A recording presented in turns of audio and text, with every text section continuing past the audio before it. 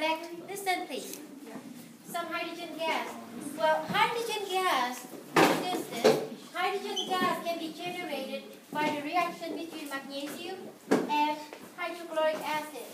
Magnesium is a metal. All metals react with some sort of acid, okay? Depending on the strong or weak acid. But anyway, this is magnesium, it's metal.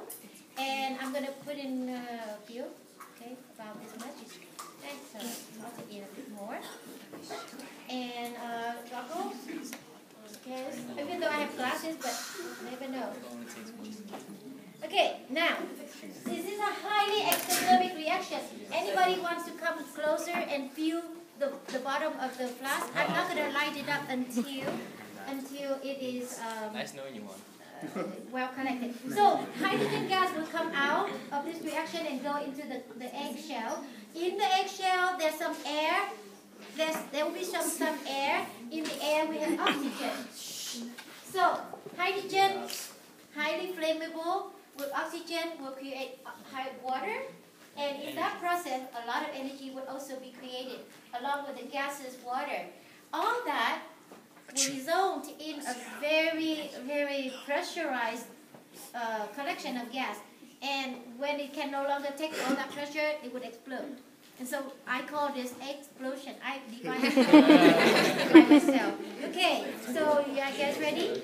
Those who are ready, uh, the brave one, you can come up here and feel the bottom of the flask. Go around. You see that hydrogen gas force? Now, tell the class what's happening to the bottom of the flask. Having bowls. Okay. Getting warm. Mm, bubbles. Getting warmer.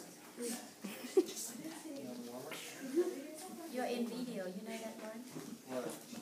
Very warm.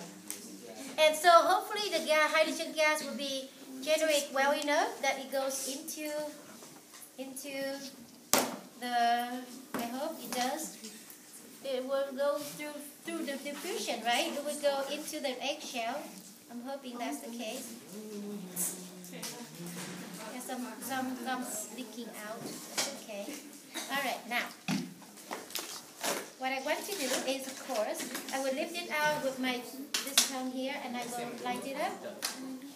Hopefully, wish me luck, it works. Sometimes it doesn't work, and it's like dang.